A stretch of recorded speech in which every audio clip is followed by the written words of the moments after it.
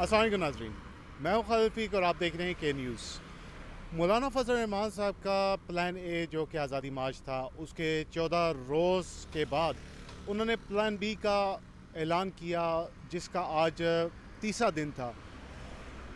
In fact چودھویں روز سے ان کے پلان بی کا امپلیمنٹیشن ان کی شروع ہو گئی تھی۔ جگہ آباد بند ہو گیا تھا۔ جگہ آباد کی قومی شاہراہ بند کر دی گئی تھی۔ کوئٹہ چمن کی شاہراہ بند کر دی گئی تھی۔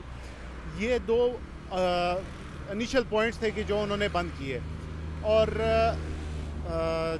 کل سے اس کو پراپر دو بجے کے بعد سے لے کے اس کو امپلیمنٹ کیا گیا۔ پاکستان کے چاروں صوبوں کے اندر جو مین شاہرات تھیں، ان کو انہوں نے بلاک کیا۔ جیسے کہ مولانا فضل الرحمان صاحب کہتے ہیں کہ جو پلان بی ہے، وہ پلان اے سے زیادہ سخت ہوگا۔ بے شک ان کی تعداد اکثر جگہ پہ کم ہے، لیکن وہ بہت افیکٹولی انہوں نے روڈز کو بلاک کیا ہوا ہے۔ اور جس کی وجہ سے شہریوں کو، مسافروں کو کافی مشکلات کا سامنا کرنا پڑ رہا ہے۔ آج جمعہ کا دن تھا۔ آج مولانا فضل الرحمان صاحب نے نوشہرہ کے اندر شرکا کا قیادت کی، شرکا کی قیادت کی اور وہاں سے خطاب بھی کیا۔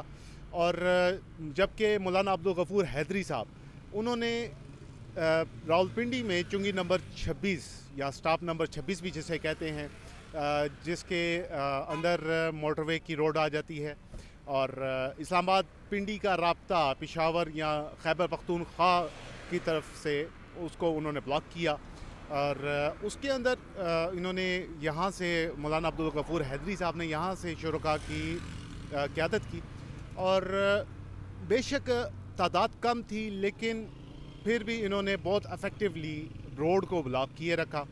ابھی بھی جاری ہے اور ان کے مطابق یہ اس وقت تک یہاں سے نہیں ہٹیں گے کہ جب تک عمران خان صاحب اور یہ موجودہ حکومت ہے، یہ استعفیٰ دے کے گھر نہیں جاتی اور نئے الیکشنز کا اعلان نہیں کرتے۔